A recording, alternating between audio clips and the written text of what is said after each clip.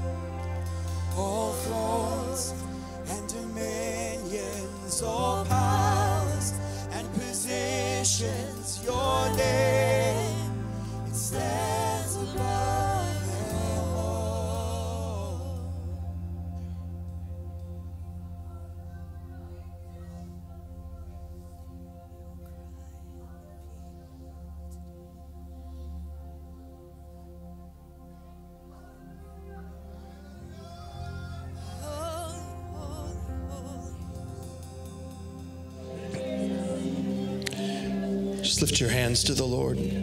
Just out loud begin to lift your praise to Him all across the house. We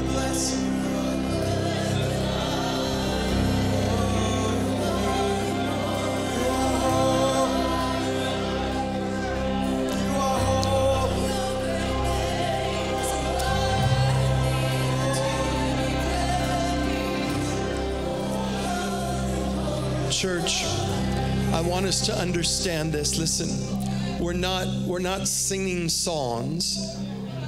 We're ascending to the throne room of God where we are invited to come as priests of the Lord to decree a thing in the spirit. Now, we're in a Psalm 2 moment right now in the earth. The kings of the earth are gathering against the Lord. The kings of the earth are in uproar, but the lion of Judah is about to roar. The lion of Judah is about to release his voice. And he's looking for a people who will prepare the way of the Lord. He's looking for a people who will cut through the noise and bring a sound. Will cut through the noise and bring a sound. And you're part of that sound. You're part of that sound. So I want you to lift your hands. I want you to lift your voice. I want you to open your mouth. I want you to begin to declare the high praises of God. Come on, the high praises of God. There's a shout inside of you.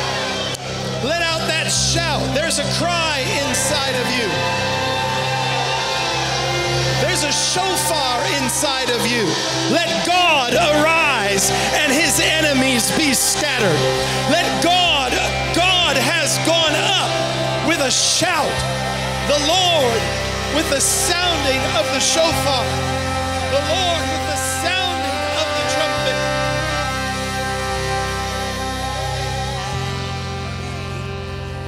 Your name is the highest. Your name is the greatest. Your name, it stands above His name is above Hamas this morning. Enthrone him.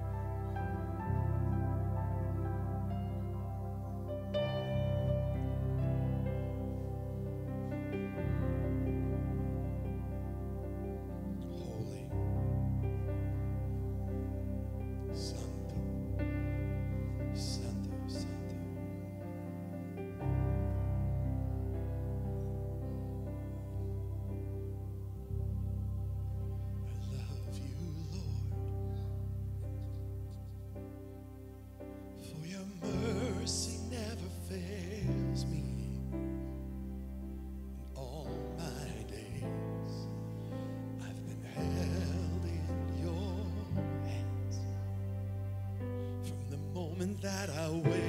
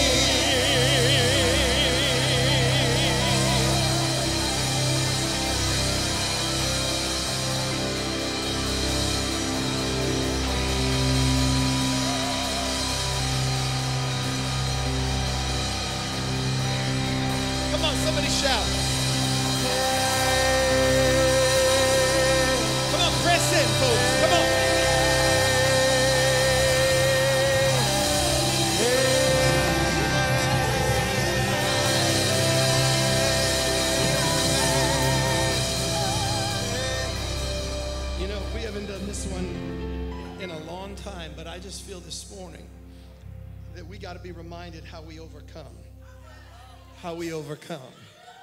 Somebody's got to get your praise on this morning. Are you ready? Here we go.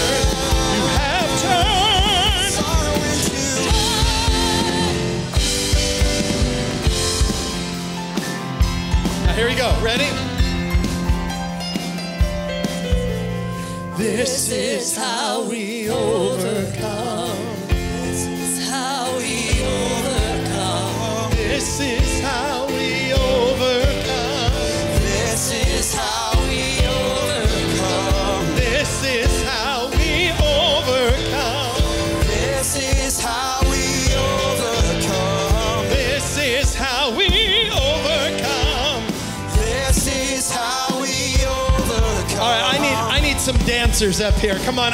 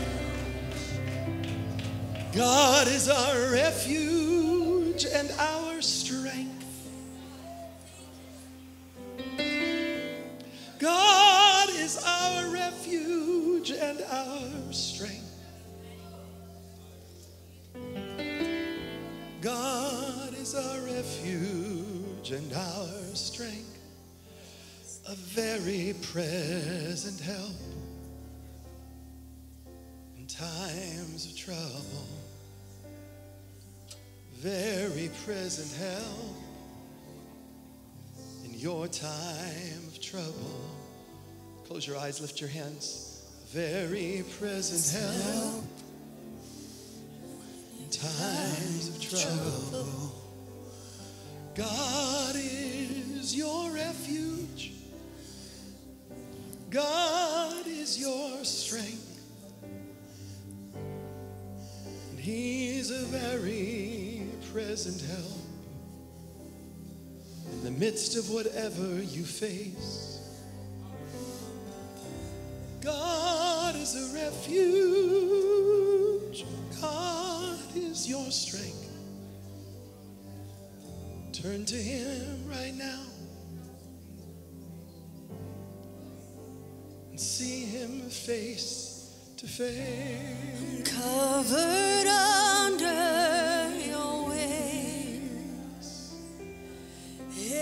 shine.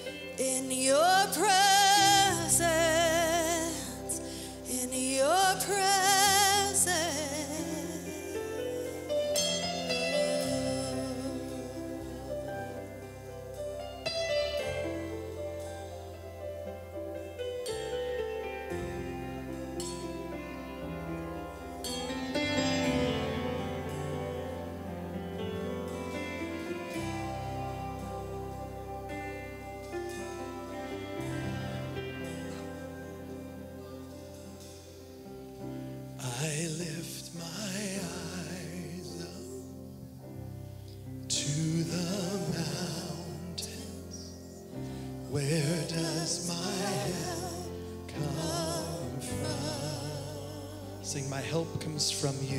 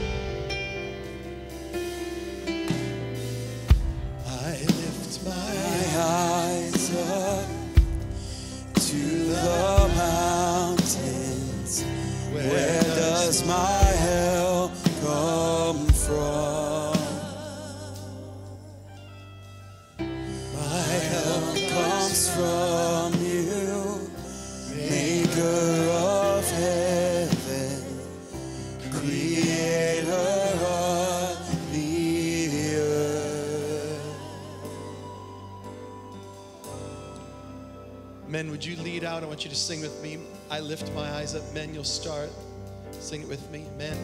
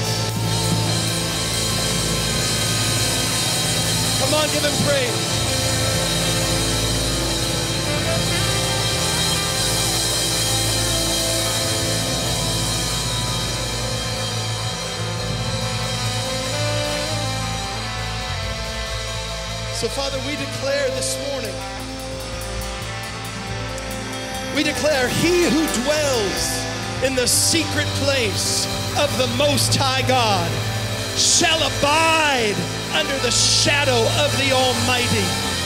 I will say of the Lord, You are my refuge and my strength. My God, in you I will trust. Give him a shout, church. Shout to the Lord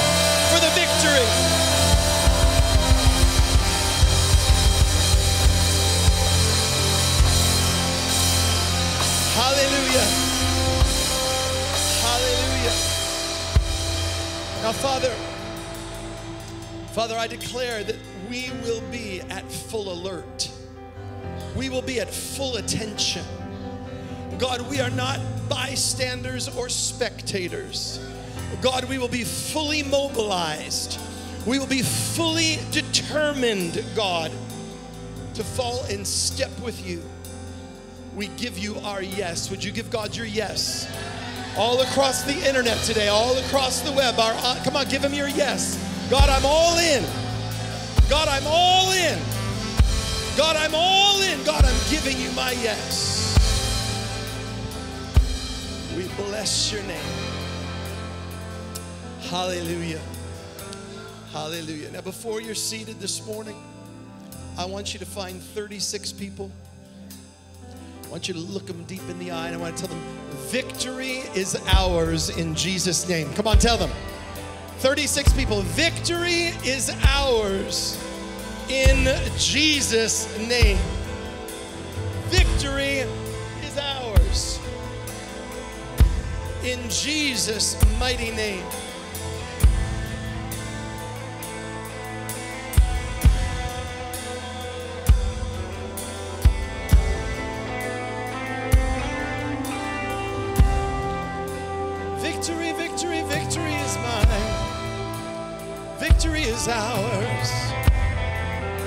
Victory is ours in the name of the Lord. In the name of the Lord, victory is ours. Hallelujah.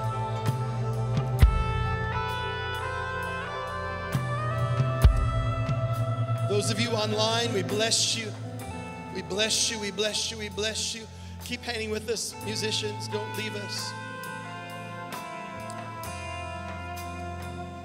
Be seated for just a moment.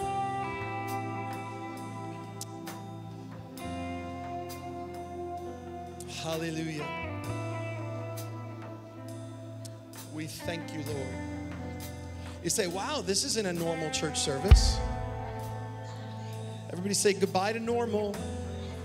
Goodbye, normal. How many of you are hungry for a move of God? About the presence of God, amen. Blessed be the name of the Lord. You want choose now or in a few minutes? What's better? Okay. Well, we have some special guests this morning. I'm going to introduce them in just a few moments. But before they come, he's special, but he's not a guest. That is Pastor Doug Reed. Give him a big God bless you.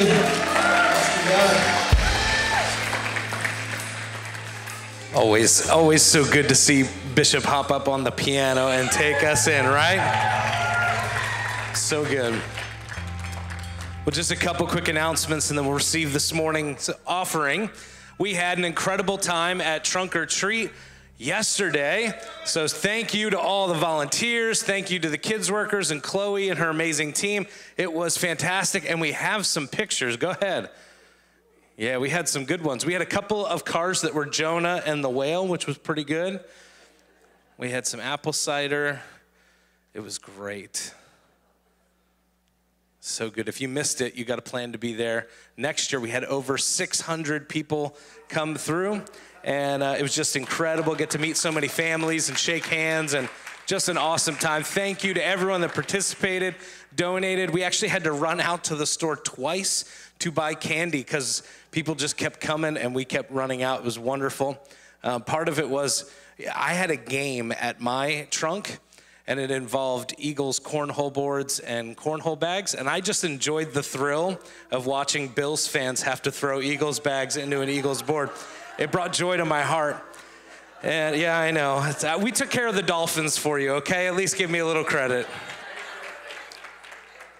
But uh, my boys, the thing was, is you had to get one in the hole, and then I gave you a king size candy bar, and I left for 20 minutes, and all of a sudden, all the king size candy bars were gone because my boys were helping everybody put it in the hole because they wanted to give them away and wanted everyone to feel good. And our king size plan went out the out the window. But it was a great time. Thank you again to everybody that was uh, a part of that. Um, coming up, we have Christmas. Can you believe that? Who's done with their Christmas shopping? Where are you at so we can throw something at you? Now, uh, Christmas is right around the corner, and every year, I hope you mark your calendar. The first weekend, December 2nd and 3rd this year, is the Tabernacle Christmas Musical. It's an incredible time. We have a full orchestra, we have a choir. Uh, I think it's one of the bigger choirs we've had in quite some time. And uh, it's just going to be a great, great time. Bring the whole family, friends. Um, that's the second and third at 7 p.m. Um, we're also looking uh, for some baskets that we will uh, raffle off. So if you're a business and have done that before, we'd invite you to see Sharon Judah. She was up here uh, a moment ago, right there. So see Sharon after uh, the service and let her know, hey, I, we want to give a basket again this year. Um, even if you're not a business and you just want to put a basket together, we would love that. It helps us bless the community uh, as a part of the Christmas musical. And then, last but not least, uh, we appreciate your flexibility this past Thursday as we had to make an adjustment uh, to Bishop's recording for the Israel uh, strategic training, and that will happen this Tuesday night at 6:30. So we will uh, be together for the Israel strategic training. Now, I have to tell you, some of you missed the first one, um, they are out online and there are clips of them online. And so you can get them at Bishop's uh, social media. You can go to uh, his public figure page on Facebook or on Instagram. And please share those out. I've had a number of pastor friends around the country message me and they were like, this is so good. When is the next one? Uh, coming out. And so uh, tune into that, be a part of that. If you can be here Tuesday night, we'd love to have you. But even if you can't, those are coming out very quickly on social media, and they're helping us to stay informed on all that God is doing uh, in Israel. And I believe this Tuesday night we're going to tackle some of the scriptures of the ingathering and uh, the seven reasons Christians should support Israel. So you want to be here. Yep. We have over uh, over 2,000 people have gone through the one that we already did. So from the Oh, little wow. sanctuary here, the hundred of us that came, over 2,000 people have already gone through those trainings. That's the impact that we're having from right here. Beautiful. So make sure you guys catch that, watch it online, share it out. It's really, really great content and information helping us stay uh, in the loop. Well, this morning our ushers are going to come and we are going to receive our tithes and offering. Uh, if you missed last week, uh, there'll be a, a video I'm sure that we'll throw out on social media. You got an opportunity to see the new stuff that God is doing in our Tab food pantry. And uh, so excited about all of that. And we're going to continue as our project offering this morning, sowing seed into our food pantry. Uh, Thanksgiving is coming, Christmas is coming, and there are families that we get to come alongside, about 100 families every week that we get to help fill up their carts with groceries. We get to bless, we get to be a part of that. But especially as we come around the holidays, no one should have to sit down at Thanksgiving or Christmas and not be able to put food on the table. And so, as you sow a seed this morning, uh, put in your project offering, it's going to go to our tab food pantry. You can give a number of different ways. You can give online, Cash App. You can use the envelope, make your checks out to the tabernacle. Let's pray. Father, we thank you that we have the privilege and honor of partnering with your will on the earth. And we get to do that by writing a check, by sowing seed, by serving, by being a part. Lord, we get to do our small part, but in stepping into your kingdom, we get to see kingdom fruit. And so, Lord, we pray that you'd multiply the loaves and the fishes this morning and you allow us to continue to impact not just the tabernacle, not just Western New York, God. We're a local church. Lord, we are making impact all around the world. We bless your name. In Jesus' name, amen.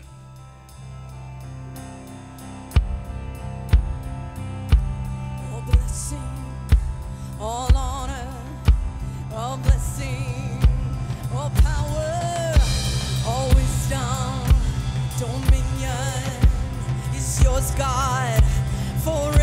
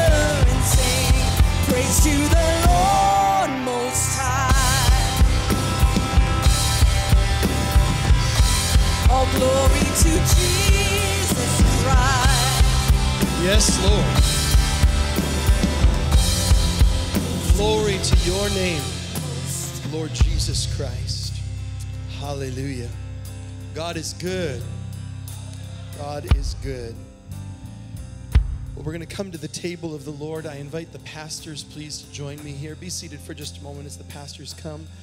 Such an honor to have Bishop in the house with us.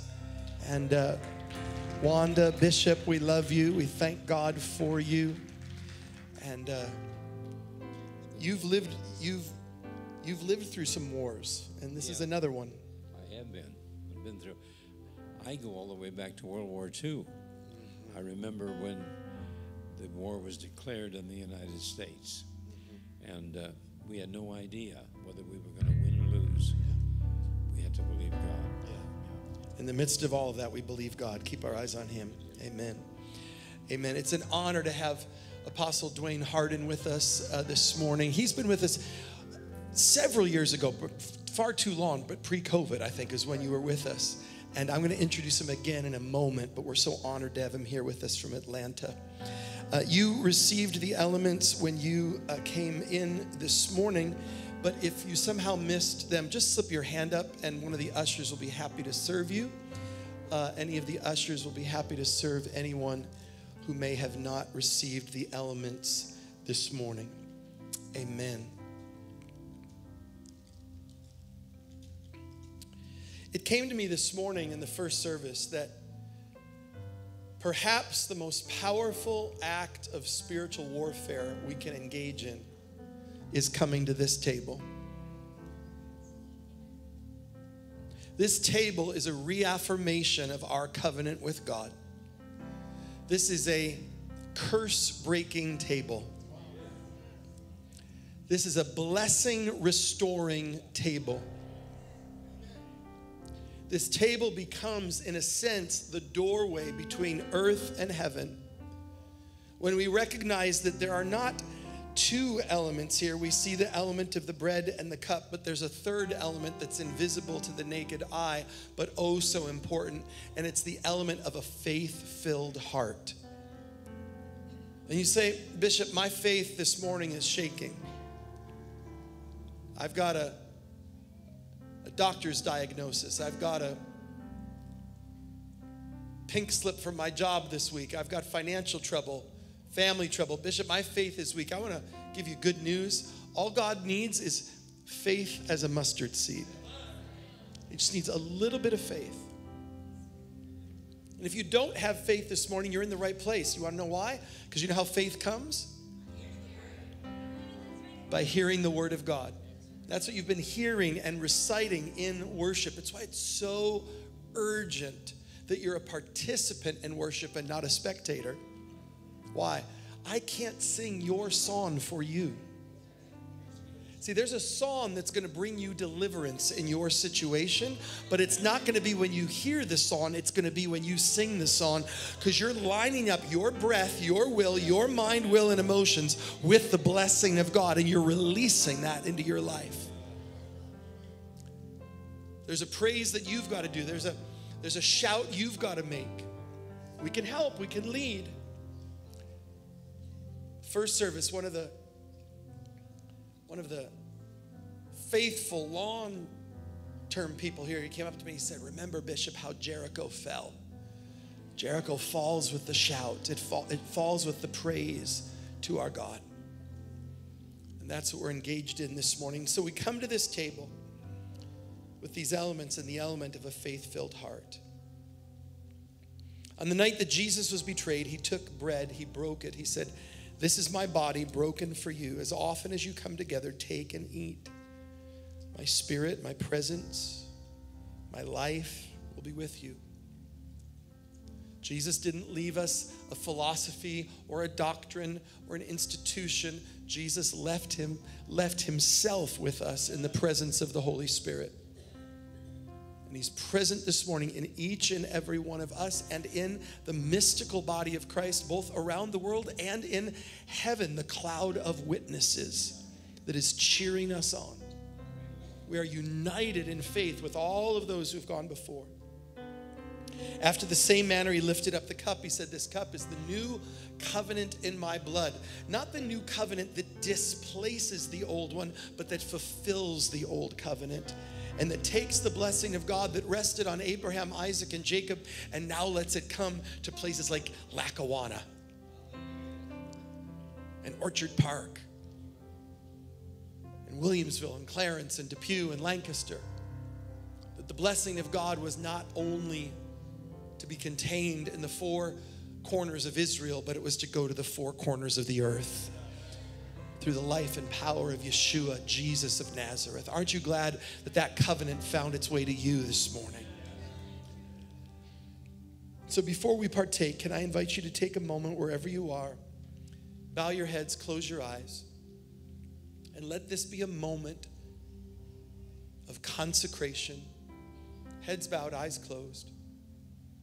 A moment between you and your God. Your God is seeking you. Your God is drawing near to you, draw near to Him in this moment.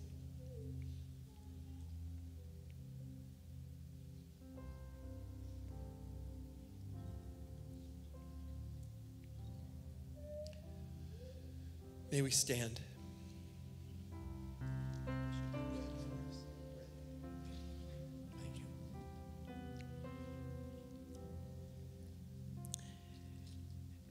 It was over half a century ago that I stood at this pulpit in another place, another place in the city, but this pulpit, and broke my first bread with this people. Today we break bread again. The most significant thing that we can possibly do is partake of his supper. We break this bread together we come together to celebrate your body, celebrate your blood, and partake of both of them.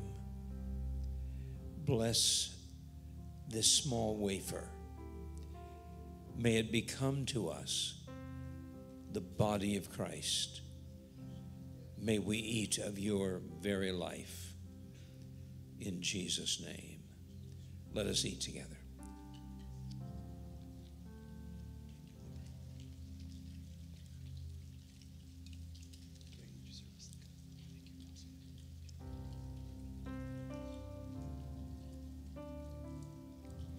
One significant thing about the blood is it speaks. And it speaks to DNA. When we're born again, we're regenerated, regenetically aligned. It's the blood that determines the genealogy. And so when we drink, we are drinking in alignment to our true genealogy, unscathed by sin. Let us drink.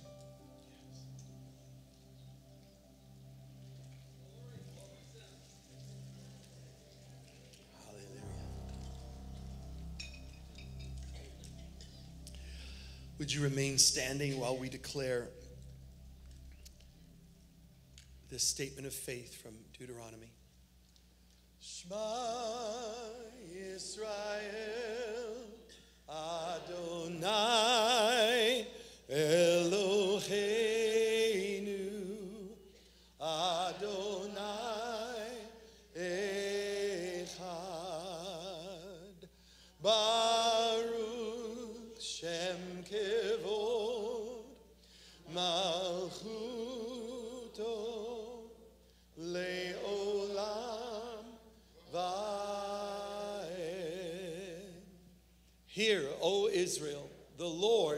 our God, the Lord is one.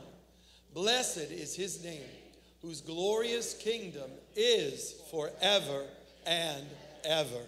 Amen. Blessed be the name of the Lord. Hug the person behind you as you're seated this morning. I'm going to bring you up in a second.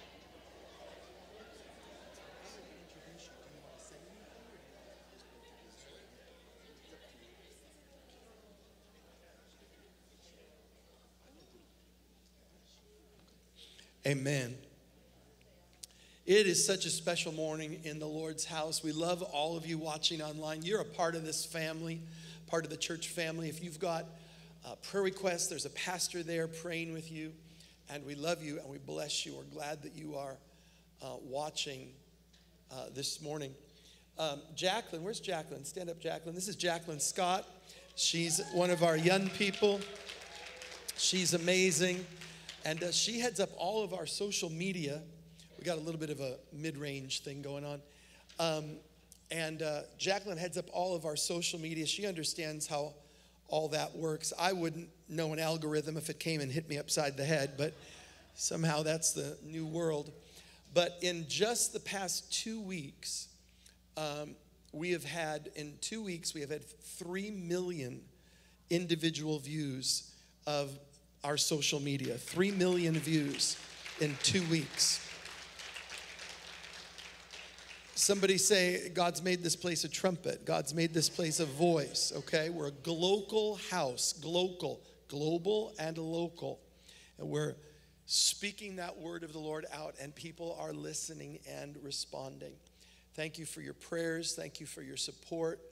Thank you for all that you do for my family and I. We love you and we thank God for you. We're so happy to have dear friends, really extended family um, with us today. Um, some special guests. Uh, there we are. Whatever you just did is perfect. Something just changed. That's great. Perfect.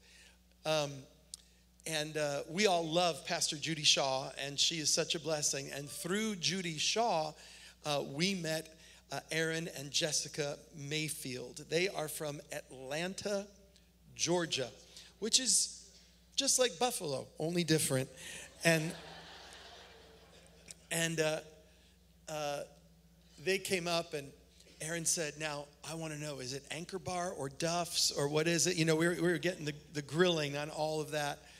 Um, but I have fallen in love with this couple. Um, I, I liked Aaron when I met him, and then I met Jessica. I said, This man married up. He did really, really well. This is an anointed, anointed couple, and they're two beautiful, beautiful children. Pastor Doug, just stand up and show off Michael there. Here is Michael. oh, there's Gloria. Stand up. Say hi, Gloria. There she is. She is a princess. But uh, would you make welcome? I, I, it's the first time here, but I'm praying that it is not their last. I'd like you to make welcome Aaron and Jessica Mayfield as they come.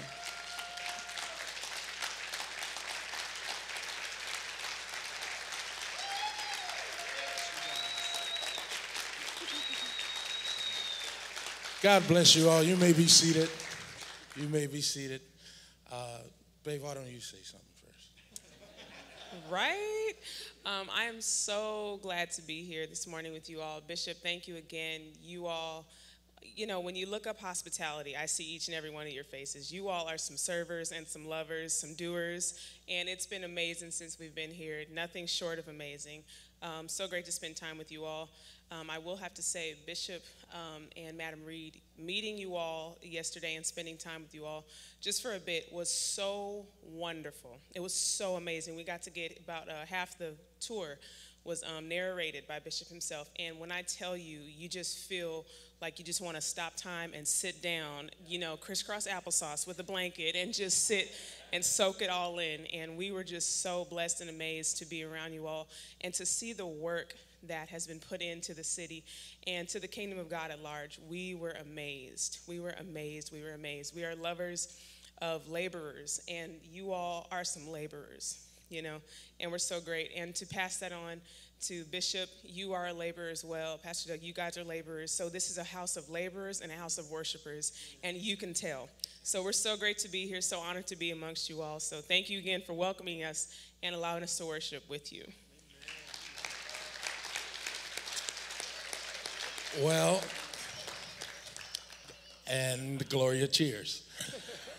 well, one thing I know in this season I've learned that obedience is better than sacrifice.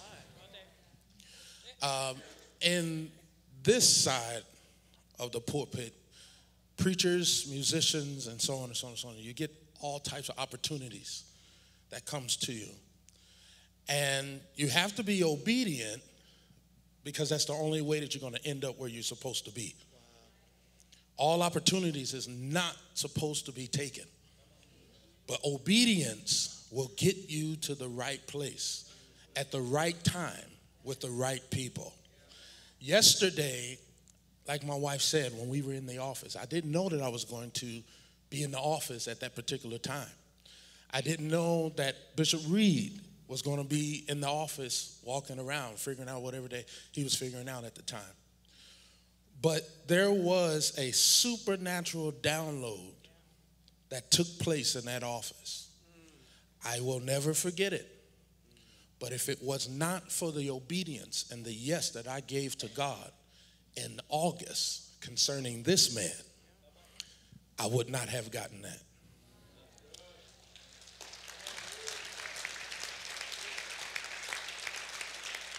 So, alignment and timing is so crucial right now for every gift that's in the body of Christ.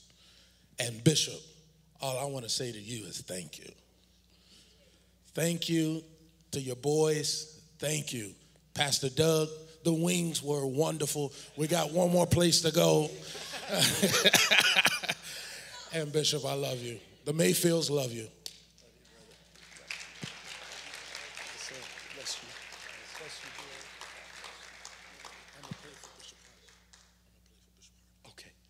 Give them one more big God bless you.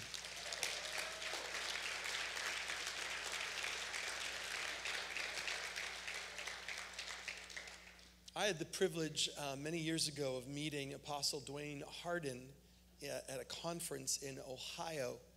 And, uh, you know, you meet a lot of people, uh, but then there are those that you encounter and you connect with, and you know that it's a God appointment. You know that it's a God meeting. And uh, I just immediately sensed his discernment, his integrity, his commitment to the kingdom of God. And we stayed friends for years.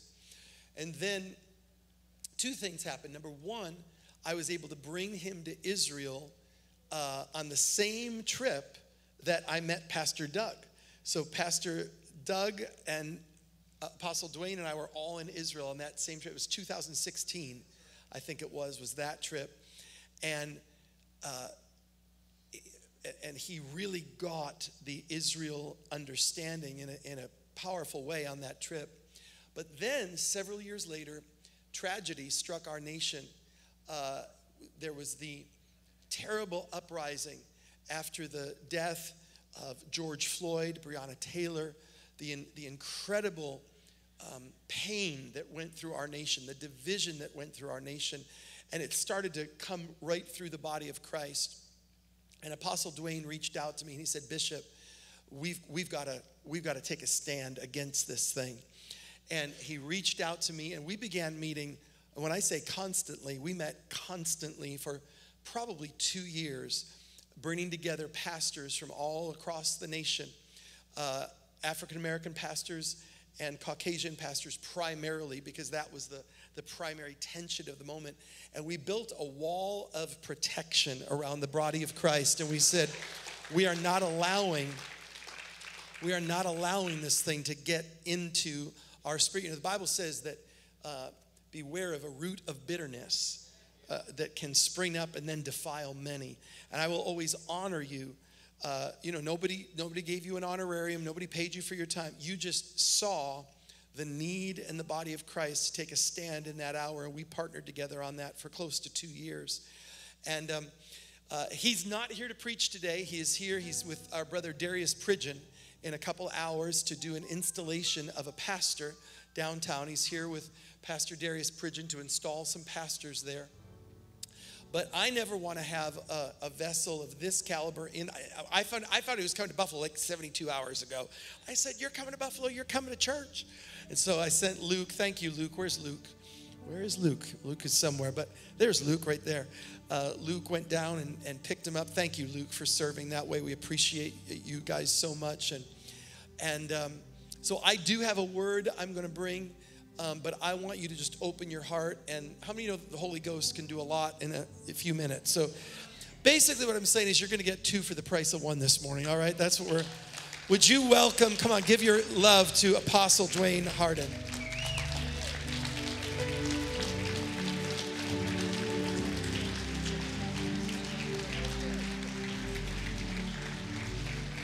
Can you all do me a favor and give God the greatest shout of victory that you can? No, we can do better than that. Give him more. He deserves so much more. The Lord is good and his mercy is everlasting. The Lord is good and his mercy is everlasting. Do me a favor before you sit down and take your seat. We need to do this in this order. Let us first thank God for uh, Pastor Doug Reed, who has come and uh, I see a significant uh, impact that he's making, and I'm proud of you. Um, I didn't know, uh, well, I didn't know I was so old. Let me say it that way. And I, I want to thank God for you. I honor you. He was in my hometown of Youngstown, Ohio, which is where I met uh, Bishop Reed many years ago. Would y'all thank God for your pastor, uh, a sing, uh, pastor that assists?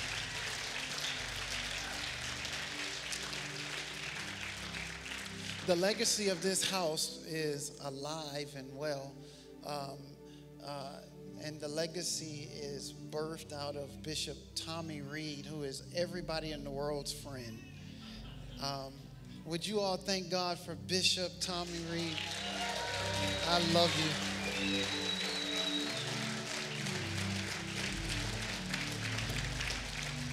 I want to thank God for my friends Al and Deb, who are just great. They've been to my house, ate my food, and make me feel like they uh, enjoyed it.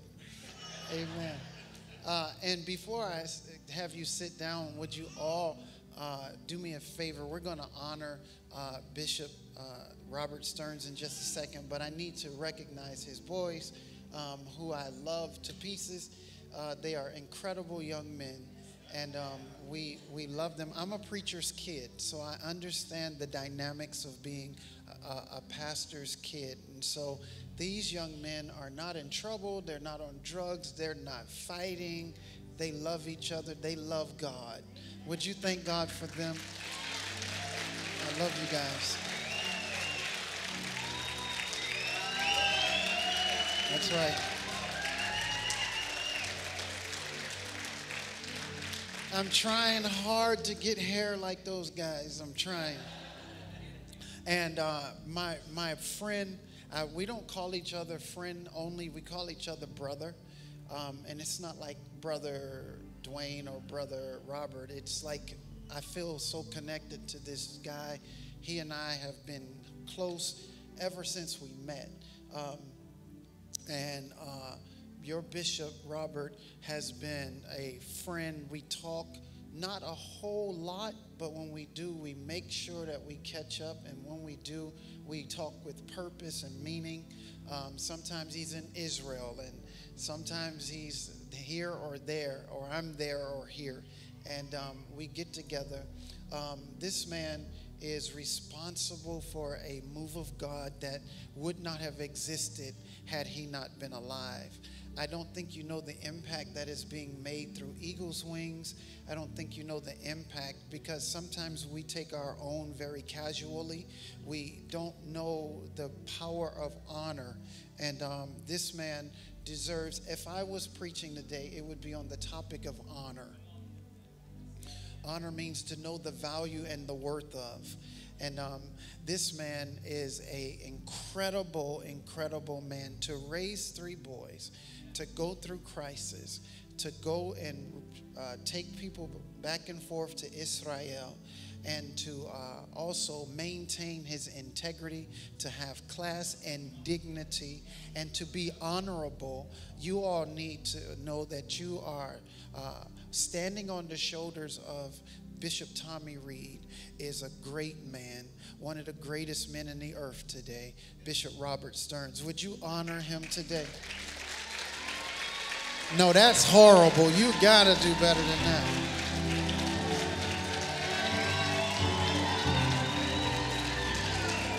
Yeah. You may be seated. You may be seated. I, I don't want to belabor you. Um, let me see. Okay. Now, that the Lord gave me a few things that I, I'm going to share with you. Uh, um, I was praying. I was. I, I didn't call. I normally would talk to Al and Deb and call Bishop uh, uh, Tommy and let him know I'm coming. I didn't call anybody except for Bishop Reed. I mean uh, Stearns. And I told him I'm coming. He's about right. It was about 72, 72 hours. And he says, Come to the church. And he made everything so easy. And so I'm here today. I want you to catch these points that the Lord put on my heart. Um, um, there, there are a couple things. And, and um, you need to understand that you're in the middle of a revival season. Um, I heard the Lord say something very clear to me while I was sitting there, and He said, I, I want to start a revival in this house again. Now, I don't know the complete history of this church, but I do know it was built off of a move of God. Right? There was miracles, signs, and wonders. And, and um, what triggered me even further was when the young lady who came up uh, that Bishop said she was dealing with cancer and she's dancing around. You would swear up and down nothing was wrong with her. Um, this day, now hear me, hear me. This day is a spark of a new day. This is a spark of a new day. Um, I need you to hear me. This is a sparking of a new day. I went to uh, Psalm chapter 2 when you brought it up. I went to verse 8. And uh, verse 8 was really fascinating to me. Um, he said, Ask of me, and I shall give you uh, the heathen uh, for your inheritance, and the uttermost parts of the earth for your possession. Now, number eight, verse eight is the is what sparked me, and that's a, a new beginning. Eight is the number of a new beginning, and this is what he said. In order for this new beginning to trigger, he says, "I need you to ask of me." He said, Ask of me. Now that's the word of the Lord. He said, Begin to ask of me. So I began asking. And, and what I ask of the Lord is what He put in my spirit prophetically. So I'm going to proclaim this, I'm going to release it to you. One thing that the Lord is wanting to uh, uh, reignite, Amy, if you will, is that He wants to mix this church in the flavor that He ordained for it. Are you catching me? Um, he's saying, I am about to sprinkle this church uh, with some salt and pepper. There, there is, uh, he says, I'm bringing in the heathen and I'm bringing in nations, nations that you don't know yet or have not really uh, recognized as a part of what he wants to do here. Um, your bishop is a man of flavor. He's a man uh, that carries great weight in the spirit. I need you to hear me. He carries great weight. Um, one of the things that I love about him is I will never ever find a racist bone in his body. Right? That, that sounds simple and easy because many of you say I'm not racist, and it's not a, a battle of whether you're racist or not. It's a battle of can you get into the fire with me? And he has the ability to go in the fire with me and then walk out with me with his arm around me. Are you following me? And so the church has to reflect who he is. And there is a shifting that is taking place. And God is saying, I need you to start asking of me. I saw this in the spirit where the Lord said, I'm calling for revival nights at the tabernacle. I don't know what revival nights is going to look like, but it's going to be where people will come and there will be strong worship and strong prayer. And it's like uh, just, it'll start off with 10 people showing up.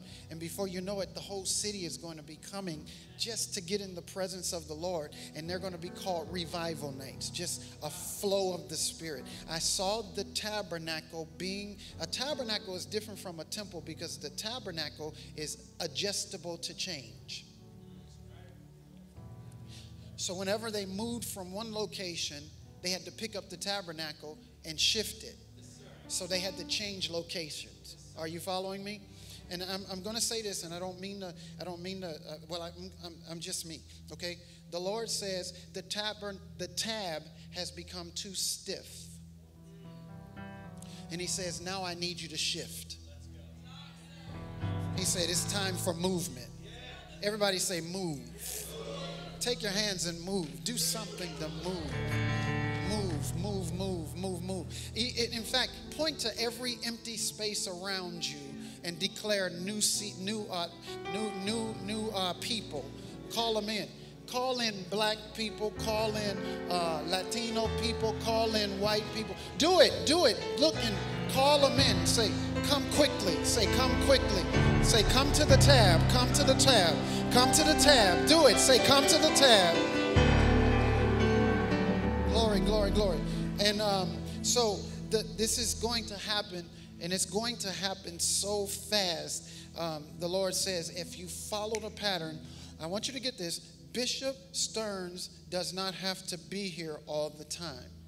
Now, a lot of people are uncomfortable with that, but you need to hear this by the Spirit. You need to honor him in his absence. Please hear me. You must honor him in his absence because he's building something bigger outside than he could do locked up inside. Are you following this? So please, please get this in your spirit. He is not required to hold my hand.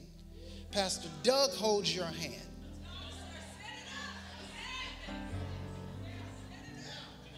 And we thank God that Bishop uh, Tommy is alive because his wisdom is still just permeating throughout the air. And there are things coming. There are things coming from him in the days to come that are going to really spark new things. There's a historical, uh, uh, there's a historical moment that he he has to release some things that he even forgot about. The Lord's going to bring all these things to his remembrance, and you're going to be blessed by that. I'm moving real quick. I got about two minutes. I wanted to do this in. Um, Michael, your son the Lord said, I'm putting a prophet in him. Shh, shh, one second, one second. I need my time. Um, God's making him into a prophet. He, he's already a prophet, right? But he says, I am sending Michael to fight for Israel. He says, I am making him a voice he's going to carry like an, an evangelistic power and the voice of a prophet. And many young men are going to give their life to the Lord, Yeshua, HaMashiach, in Israel because of Michael's voice. He's going to use all your boys. All of them are going to be powerful. But there's an assignment. I had to be specific today on Michael. He's going to be like the angel of the Lord, the warrior who will go in and government will recognize him and government will honor the voice because he has taken on the spirit of the people. So I declare over you, Michael, raise your hands. That you shall prophesy you shall prophesy and bring correction to the wrong areas.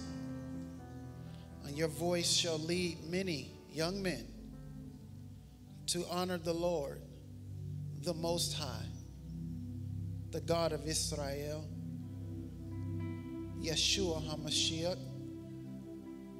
They shall say, I now know who Adonai is. And a revival will spread and break out you will experience some persecution. But, son, says the Lord, I will make you great. I will make you effective, and my hand shall always be upon you, says the Spirit of the Lord. We bless him. We bless him. Bishop, can I lay hands on him? You mind? Come, come, come here, Michael.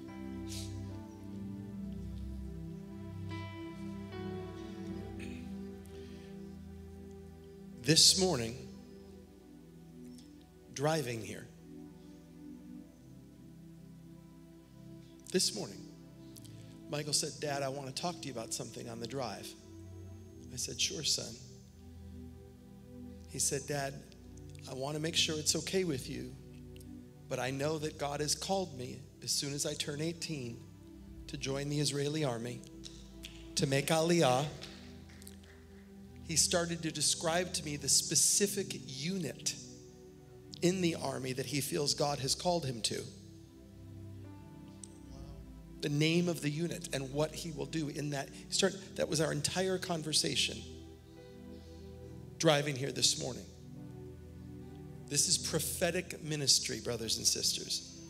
This is the Spirit of the Lord which is crazy because when he walked into the office, I started to say to him, um, are you making aliyah?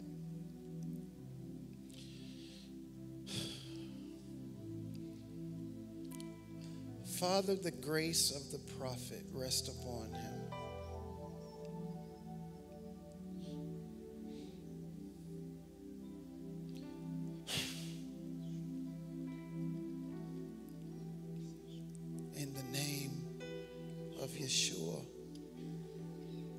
Bless him and shield him and surround him. Open his eyes, Lord.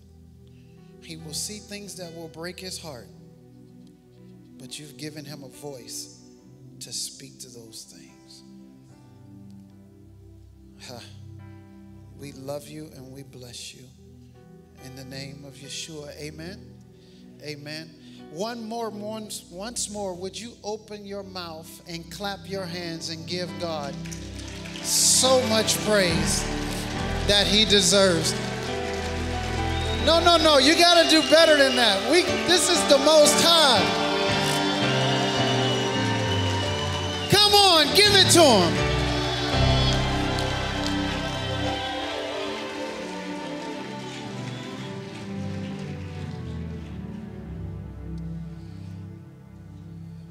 You love it when God orchestrates a service? Hmm.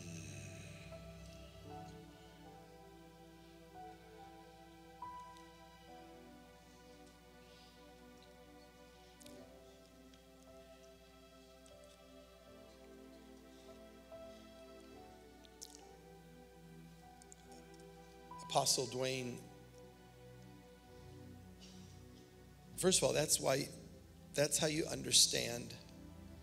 My boy said, What's an apostle? I mean, he just came in, and if you were listening, he set structure and order into the atmosphere. He gave us guideposts and signposts to understand where we are and where God is taking us. And this is the ministry gift of an apostle. You heard him take time, and he said, if I, if I was going to preach this morning, I would be preaching on honor. And he didn't know this, but we had set aside time this morning. I wanted to this morning. And it's appropriate that we do this. I know, I know I'm aware of the time. Denny's is going to be there at one o'clock. I promise you, it will still be there. They're not going to run out of eggs and salad or whatever you have. But I want to ask Pastor Amy to come and stand with me. And I want to ask Pastor Doug and Sam to come and stand with me. This is, we're in the middle of Pastor Appreciation Month. And I want to tell you, we are blessed in this house with the ministry and the pastors God has given us in this place.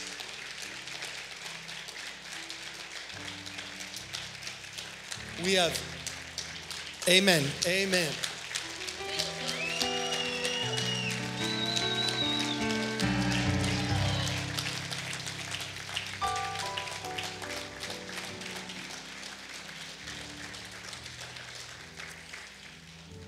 Pastor Sam's loving have this uh, baby here. I don't know, you know.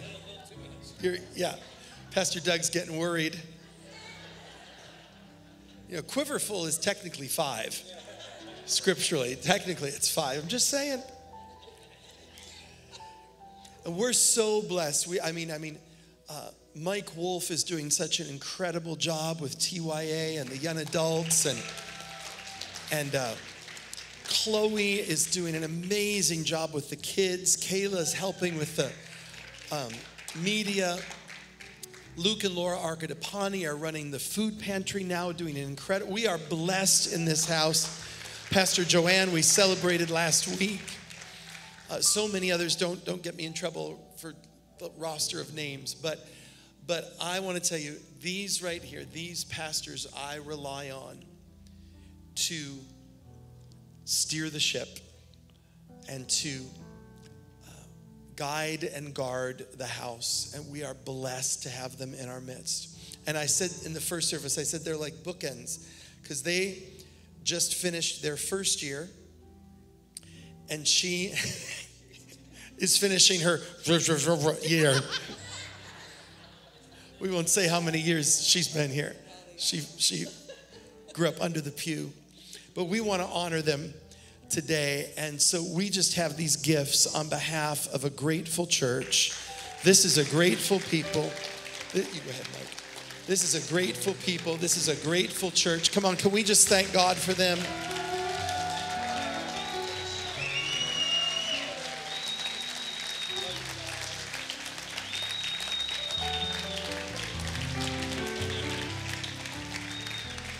Amen. Amen. You may be seated.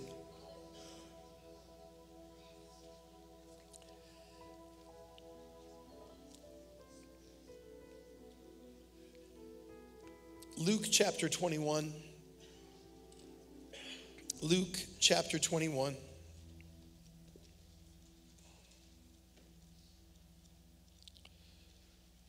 Don't go anywhere, Aaron. Stay right there. There we You're just pulling me into that glory. Luke chapter 21 says this. I'm going for time's sake, I'm going to go very quickly. The message this morning is simple. Um, Jesus said, Take heed that you be not deceived. We're starting, I think, around verse uh, 8 or 9. Many will come in my name, saying, I am he, and the time is drawn near. Don't go after them. But then you will hear of wars, rumors of wars. Do not be terrified, for these things must come to pass first, but the end will not come immediately. Then he said, Nation will rise against nation, kingdom against kingdom. There'll be great earthquakes in various places, famines, and pandemics. And there'll be fearful sights and great signs from heaven. But before all these things, they'll lay their hands on you, persecute you, delivering you to the synagogue and prison. You'll be brought before kings and rulers for my sake. But it will turn out for you as an occasion for testimony. Somebody say testimony. Therefore, settle it in your hearts not to meditate beforehand on what you'll answer, for I will give you a mouth and wisdom which all your adversaries will not be able to contradict or resist. You'll be betrayed even by parents, brothers, relatives, and friends. Some of you, as we are facing this war in Israel, some of you are going through this right now. Some of your family is not on the same page with you. Some will even be put to death. You'll be hated by all for my name's sake. But not a hair of your head shall be lost. A scripture I've never been able to claim.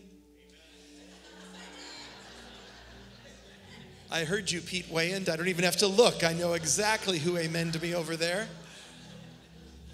Fifth row back on the aisle.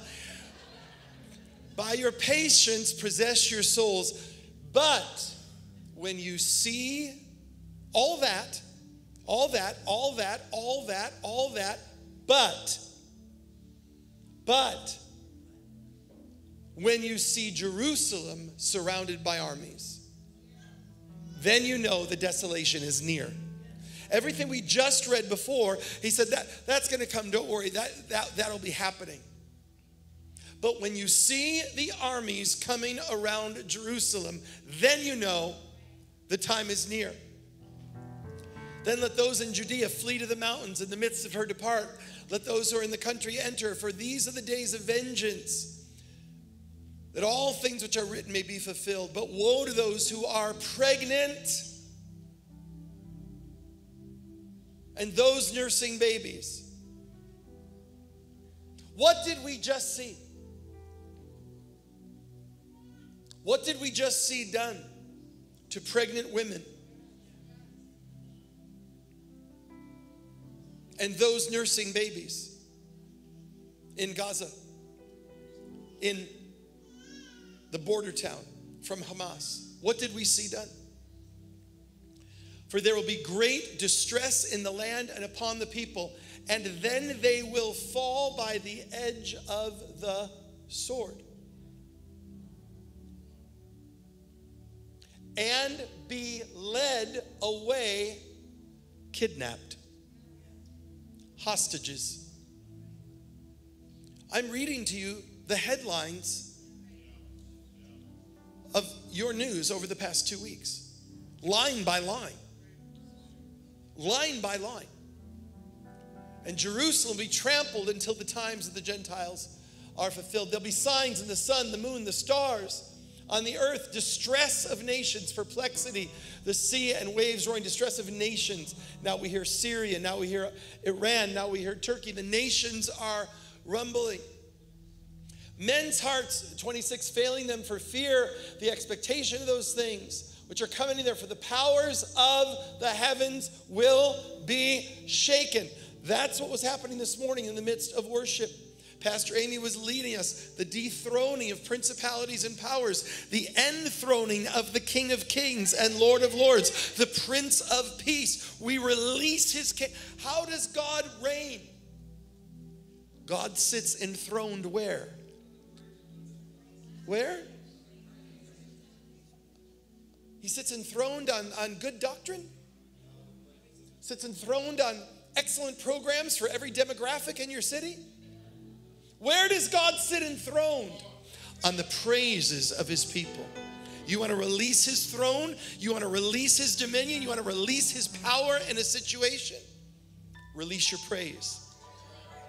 Release your worship. Release your praise. Something shifts when you praise. Then they will see the Son of Man coming in a cloud with power and great glory. Now, when these things begin to happen, I am a child of the 70s. Jesus was coming before 1986. We had a top 10 list of antichrists. We, our antichrist test was multiple choice. You could, you could, you could pick them. We were never going to see the year 2000. Never. And if we ever did, we'd all be flying on cars like the Jetsons, the Jetson. If you don't, you kids, if you don't know who the Jetsons are, you haven't lived. I mean, just.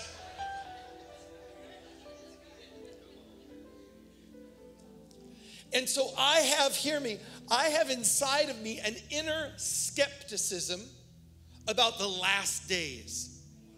Because every preacher who came through every third week told you, here's my chart, here it is, here's it lined up. We've got about, you know, 27 days left before the rapture. So I have an inner skepticism when we look at world events to quickly say, oh, this is the end, the end is here. But can I tell you something? I am 55 years old. I have never seen anything like we're seeing right now. I have never seen anything where literally, line by line, we are reading literally what is happening in front of our eyes. We're living in a generation that calls evil good and good evil. We're living in a moment where deception has so filled the minds of the educated.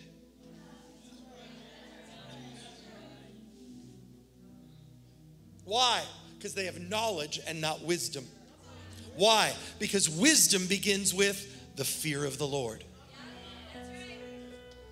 And if you are eating of the tree of the knowledge of good and evil instead of eating of the tree of life, then you are going to be puffed up and become a God unto yourself, and then you are going to bear the wrath of God Almighty. We are living in the midst of the full manifestation of full Darwinian humanism Life has no meaning. There is no imago Dei. There is no image of God. We're just dirt. That's the joyful life of the far woke left. That's on one hand, and on the other hand, radical Islam. Submit to Allah or die. Another teenage girl I saw yesterday, another one killed in Iran for not wearing the hijab. 16 year old girl killed by the morality police. They found her at a subway station. Her hijab was not on properly, and they killed her. And the idiots in America are marching in the streets in support of the demonized Hamas leadership. While the church stays in our happy, clappy, charismatic glory bubble, utterly detached from reality. But God has a people, but God has a remnant. And there's a remnant that's about to rise in the earth. Those who know their God shall be strong and do exploits. There is a remnant in the earth that knows that we wrestle not against flesh and blood, but against principalities, powers, rulers. Of, there's a rem, there's an Esther church arising. There's a Deborah church arising. There's a David church arising. The lion of the tribe of Judah is about to roar in the nations of the earth.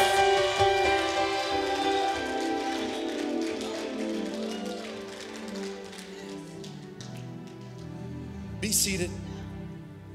God says this. God says this. Put those verses back up, please.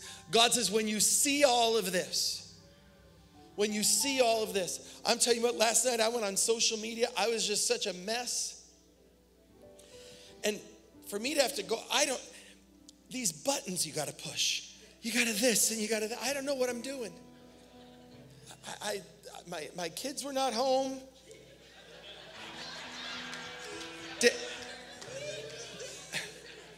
I know where Danny Kubia. I said, I don't know if I called Danny. Where are you, Danny?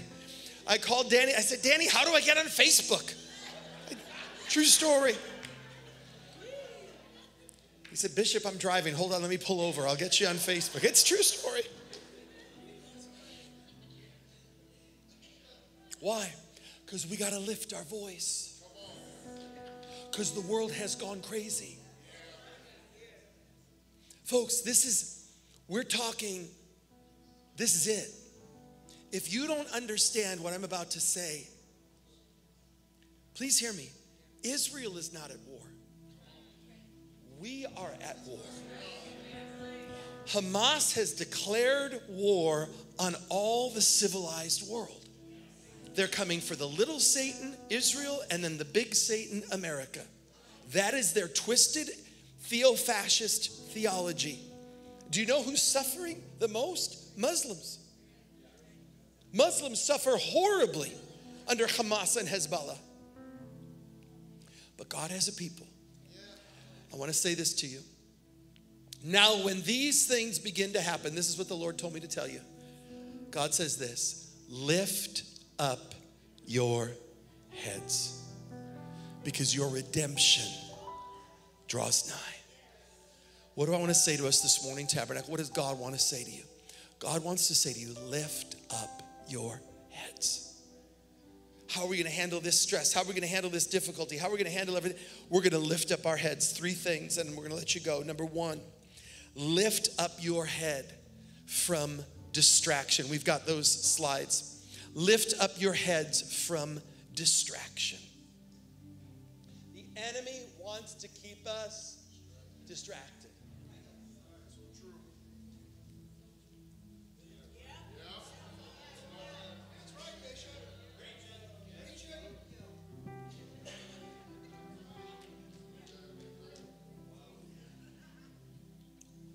I want each and every one of you right now to think what are you distracted by? Maybe it's this. I don't know what it is for you. Maybe it's an addiction, stronghold, something you're giving too much attention to. It's a distraction. God says, cut it off. Cut it off. You don't have time to play games right now.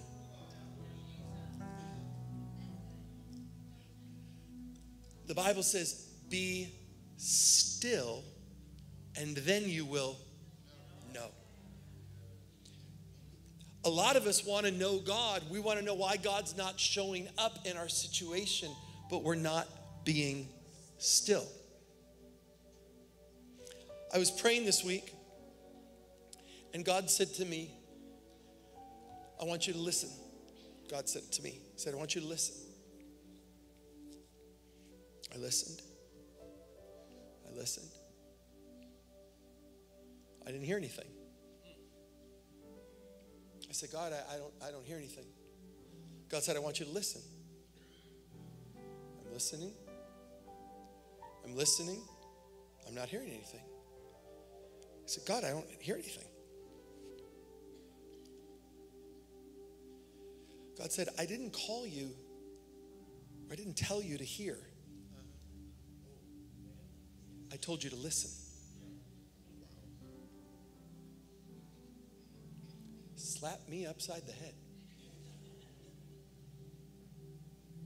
God said, I didn't say I was going to say something. I said, I want the posture of your heart to be listening. I want the position of your life to be, I'm listening, Lord. I'm listening, Lord. Do you know the best employee, the best follower, the best son, the best helper? You know the best one? The one that's just there. And the second you, boom. Why? Because they're listening. They're right there. You don't have to send 14 texts and three emails and smoke signals. They're just there, ready, at attention. God said, You're looking to hear something. I'm telling you, I want your life in a position of listening. When is the last time you just sat down and said, God, I'm just listening? And God, whether you speak or not, I'm going to wait for you. My soul is going to wait expectantly for God. So, how are we going to overcome in this season? We're going to lift our heads off of distraction. Number two, we're going to lift our heads off of denial. Most of the West is in one of three things. I'm, I'm doing this super fast. Most of the West is in one of three things. Number one, either willful ignorance, willful ignorance. Because if you want to understand this situation, you just got to teach yourself. But if you're going to just be led by clickbait emotionalism, and you're just going to grab a headline and you're going to say, oh, there's the oppressed and the oppressors. And you're going to get pulled into a narrative that has nothing to do with the actual facts. That's willful ignorance. Number two is this deception. Deception is similar to willful ignorance, but a little bit different. Why? Because a lie, believing a lie, I don't understand it all. I'm not a neurologist, but if you believe something and you believe it more and more and over and over and deeper and deeper, it forms a pathway in your brain. And you can become convinced of a lie because you're convinced of it. That's the power of propaganda. Tell the lie over and over and over and over again. So it's similar to ignorance, but it's somewhat different because you now, that thing has taken root in you. That's what's happening in our college and university campuses. The third is evil plain, ordinary, horrific evil. Somehow, a generation after the Holocaust, we've forgotten that evil exists. We have forgotten that there are evil people in this world who don't want peace, don't want coexistence, don't want to get, they are bent on evil. And you do not negotiate with evil, you eradicate evil, you obliterate evil. Evil is done away with. These are the three things we're facing, and many in the West are in denial about this. Well, we just have to understand. We just have to. No, no. You're, and we're, we're talking about pastors. We're talking about a lot of pastors. Well, we have to negotiate. We have to comp. No, you don't negotiate with Hitler. Neville Chamberlain, do you, under, do you read history? Neville Chamberlain tried to negotiate with his, Hitler. And he came back, he gave him Czechoslovakia. And he came back to Britain. He said, We have peace now in our time. And Winston Churchill said, You're crazy. You've just empowered him and made this worse. You're going to make things for the Palestinians worse if you don't eradicate Hamas. Do you care for the Palestinians? Get rid of Hamas.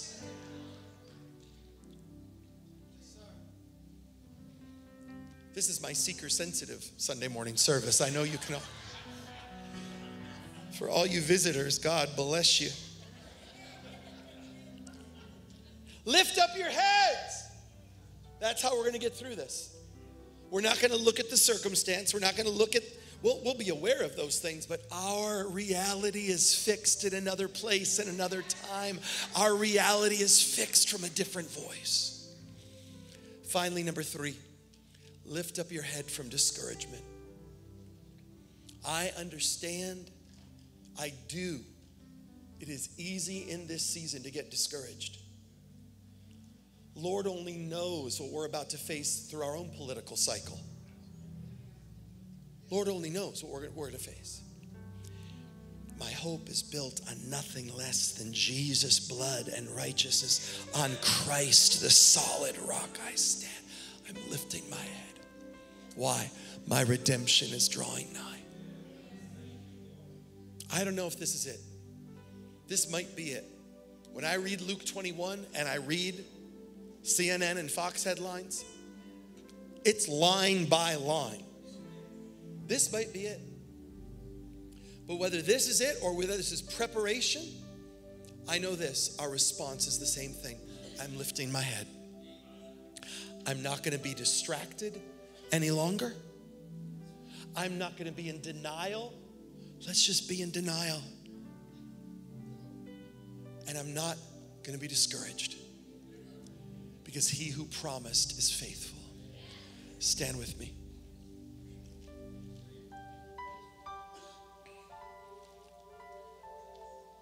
Then Jesus' blood and righteousness. I dare not trust the sweetest frame, but wholly lean on Jesus' name. On Christ the solid rock I stand, all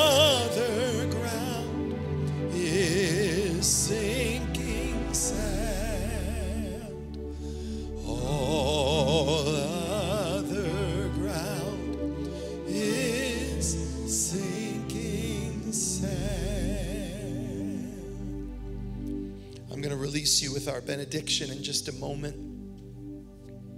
It's beautiful to see the Slades with us here this morning. I wish we had time to greet you more properly, but we love you. We thank God for you. We bless you. You're such an important part of our family. As we close this morning, this is what I want you to do. I want you to think what am I distracted by? What am I in denial about? What am I ignoring? What am I pushing away? What am I discouraged about? I want you to think of it. And this is what we're all going to do in a moment. I want you to have that in your mind. And in one moment, what we're going to do is this.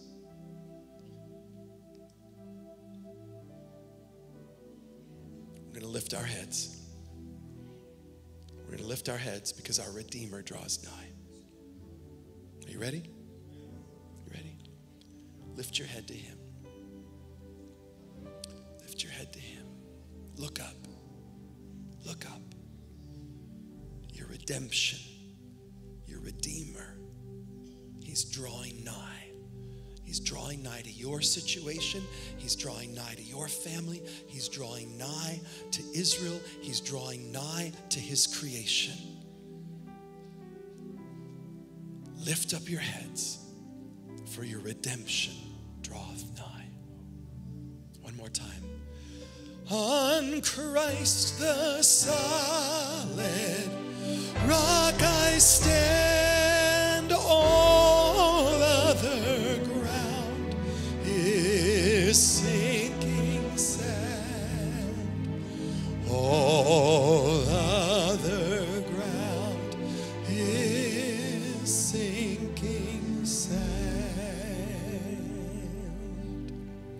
Can I ask quickly if the prayer team can come? Prayer team, would you come and stand quickly, quickly, quickly across the front? If you're here this morning and you've got a prayer burden, you've got a need, you need someone to touch and agree with you, these prayer warriors are here to pray with you. We're going to dismiss right now. Give me 30 seconds. 30 seconds and we'll dismiss. But if, you you're facing a diagnosis, a financial problem, something's overwhelming your life, they're here to pray with you. They're here to agree with you. Now, would you lift your hand to receive the Lord's blessing this morning? God, you have met with us today. You have spoken, and we have heard. But God, we also want to be those who listen, even when you're in a season of silence, because that's when we're still and we know that you are God. Bless your people, God. God, this morning we bless Israel. We bless Israel.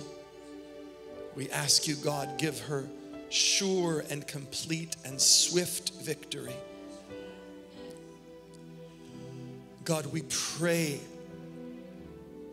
God, we pray for the Palestinian people. God, that you would rid them of the evil of Hamas. That you would rid them, God, of the violence that has seeped into that culture. And that, God, there would be a path forward for a future and a hope for the precious Palestinian people, God. Prince of Peace, come and reign.